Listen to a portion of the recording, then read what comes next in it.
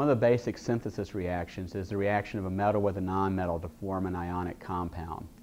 In the reaction that we're performing here, we're reacting magnesium metal with the oxygen in the air to produce magnesium oxide.